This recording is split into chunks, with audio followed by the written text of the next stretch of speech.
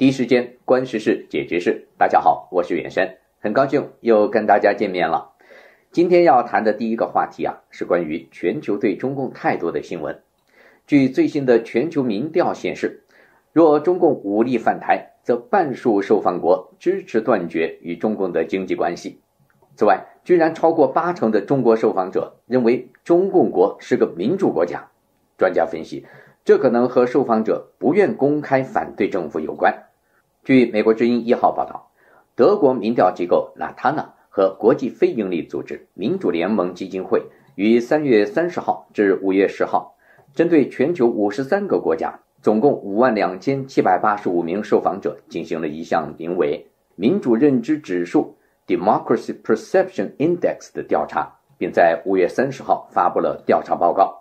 俄乌战争是影响今年调查结果的重要因素。当被问到是否因为这场战争，他们的国家应该切断与俄罗斯经济往来时，受访的五十三个国家中有三十一国民众倾向于与俄罗斯断绝关系，且全世界绝大多数人都支持援助乌克兰。然而，全球也有近一半的人表示，欧盟、美国和北大西洋公约组织 （NATO） 与俄罗斯入侵期间。对乌克兰的援助还不够，有百分之四十三的人表示他们做的对，仅百分之十一的人表示他们做的太多。当被问到如果中共入侵台湾，受访者的国家是否应该切断与中共国的经济往来时，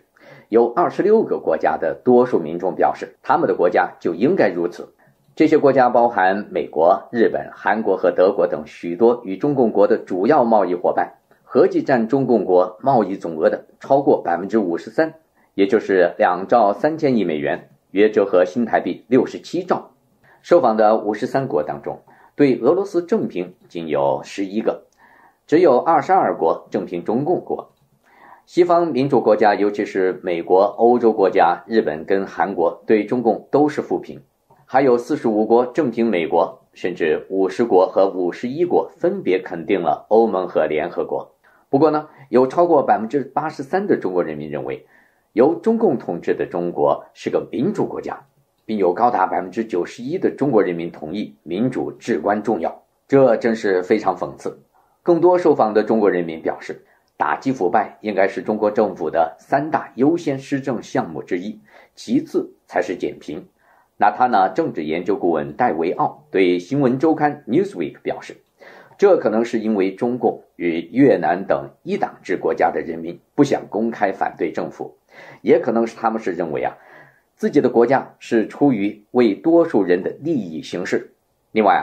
调查显示，百分之九十的国家表示，言论自由、公平选举与平等权利对于他们的国家很重要。其中，拉丁美洲国家民众有百分之八十三认为言论自由很重要，是所有的受访者当中。占比最高的，至于亚洲国家呢，则是百分之五十九，其中日本、台湾和韩国看重言论自由的人数分别占比是百分之四十四、百分之五十四和百分之五十九，只有少数国家如俄罗斯、中共和新加坡、沙地阿拉伯和马来西亚，仅不到五成民众看重言论自由。尽管如此，百分之七十三的台湾人仍然认为台湾是民主的。全球则有百分之四十一的受访者表示，他们的国家民主不充分。这种不满不只局限于非民主国家，在美国、欧洲等拥有悠久民主传统的国家也非常普遍。中国的民运人士、非营利组织美国公民力量创办人杨建立向美国之音表示，台湾和中国的最大的区别是民主和专制。这是台湾在中共国的武力攻台威胁之下对抗中共和自我防御保护的非常重要的指标。他还说，台湾在新兴的国家当中各方面指标均非常好。西方若干老牌民主国家，包含美国和西欧等国，对台湾也是赞扬有加，甚至很多方面比老牌的民主国家运作还要好。好，我认为以这项最新的全球民调来看。中共的对外工作做得非常到位，因为要触犯众怒可不容易啊。有些正评是因为有关系纠葛，或还没有受害而已。此外，居然超过八成的中国受访者认为中共是民主国家，我认为真是滑天下之大稽。除了专家分析可能和受访者不愿公开反对政府有关之外，最大的因素当然就是因为中共的洗脑手段，毕竟真实消息都被他封锁住，人民很难看得见嘛。中共所谓的中国特色社会主义的民主，骗骗中国人民还行，要真是拿到外面去讲，会让人笑掉大牙的。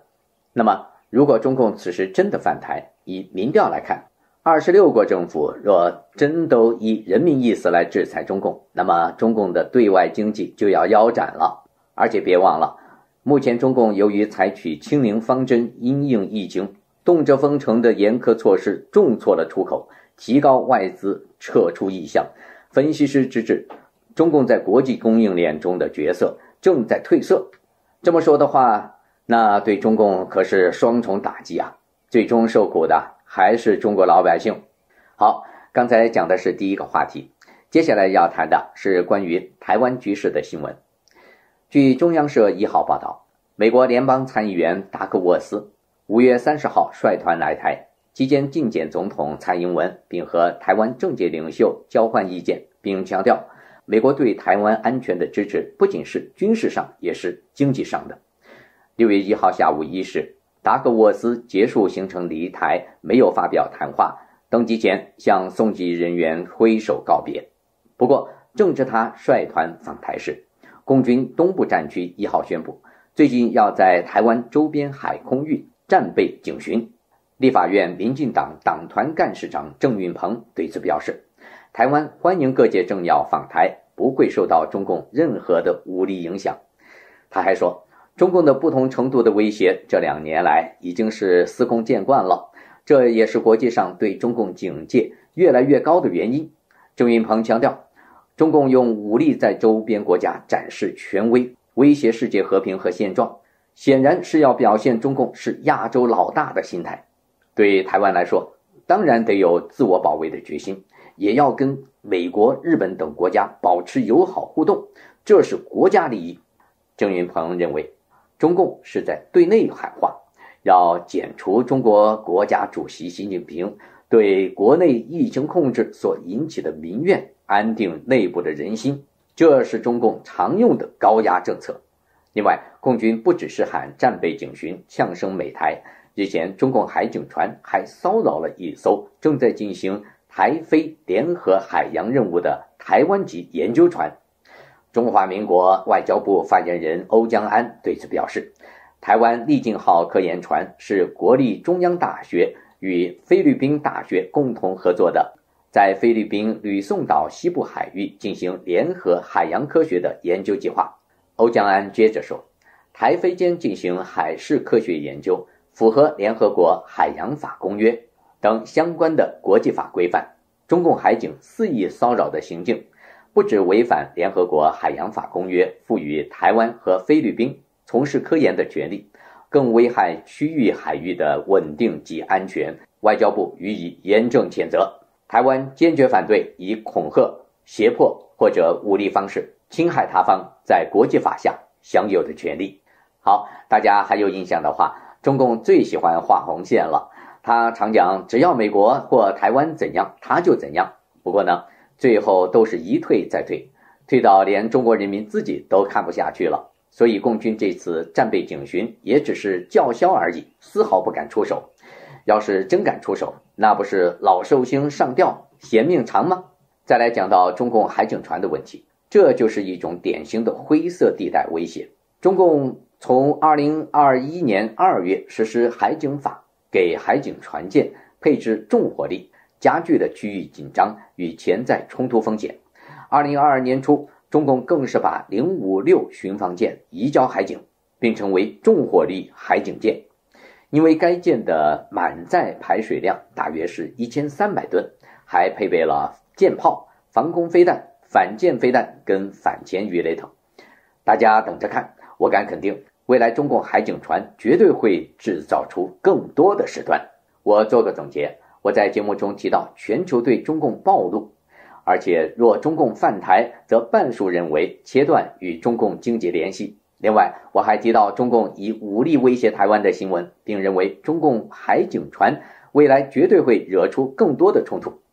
好，今天就说到这儿了，恳请各位订阅、分享和点赞，您的支持就是我做好节目的最大动力。也欢迎您在下方留言发表高见。我们下次再见。